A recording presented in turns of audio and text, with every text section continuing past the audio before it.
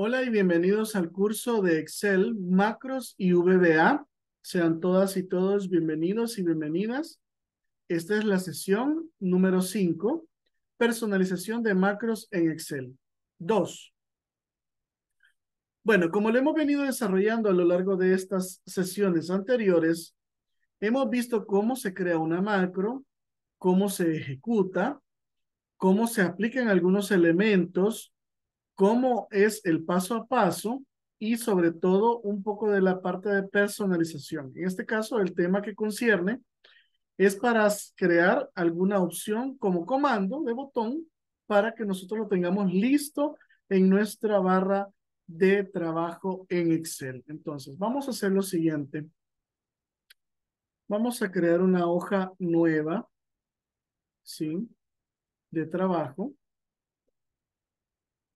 Y lo que vamos a hacer es que vamos a agregar, como les dije, eh, una macro a la barra de herramientas de acceso rápido, que en este caso sería este elemento que tenemos acá. Entonces, tenemos que crear nuestro comando. Ya tenemos una macro creada, que es la de factura. Entonces, yo voy a generar una opción de botón para estas, para que la podamos tener ah, en, eh, accesible en esta barra. Entonces, lo primero que vamos a hacer en este caso es hacer clic en el menú Archivo. Vamos a ir a Opciones. Y en Opciones vamos a ir a Barra de Herramientas de Acceso Rápido. Miren. Entonces, vamos a ir donde dice Comandos disponibles en. Y vamos a buscar donde dice eh, las opciones y vamos a, darle donde dice macros, ¿vean? ¿Sí? Y aquí aparecen una serie de opciones que eh, están, pues, algunas están preestablecidas, otras eh, las hemos creado nosotros. Por ejemplo, aquí está el color fuente y color de fuente 2 y aquí está factura, ¿vean? Ahí, esa es la que vamos a crear en este momento. Entonces, vamos a hacer clic a la opción que queremos buscar en este caso se llama factura 01, ¿vean? Le damos un clic.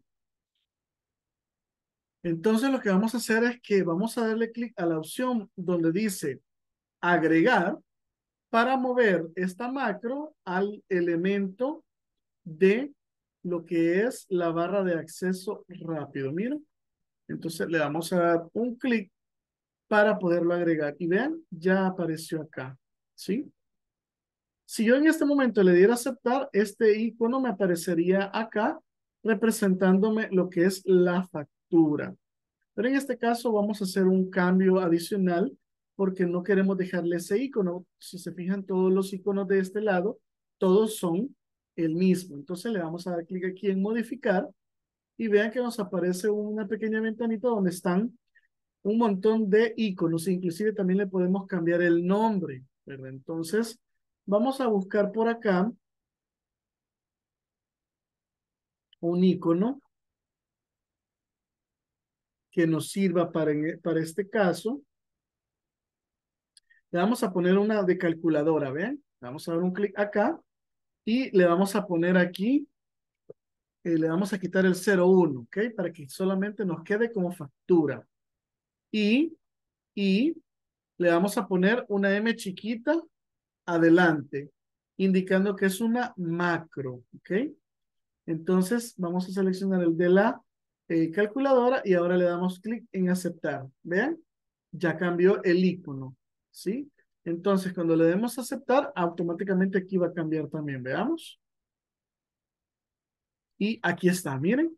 Entonces ya está disponible para que yo realice ese proceso, ¿vean?